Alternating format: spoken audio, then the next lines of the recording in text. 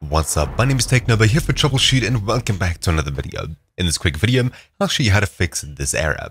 Fixing this is really simple. Easy anti-cheat untrusted system error followed by a file name. The solution to this is incredibly simple. Simply open up Steam, then locate New World on the list of games, right-click it, hover over Manage, and click Browse the local files. I'm not too sure if it's available on other platforms, but if it is, open up the game files there as well. Inside of the game folder, you'll need to locate and open the Easy Anti-Cheat folder, and inside of here you'll find the Easy Anti-Cheat setup. Run this, click yes when prompted for admin, and we'll see this. Now, all you need to do is either click Install Service or Repair Service, whatever button shows down here.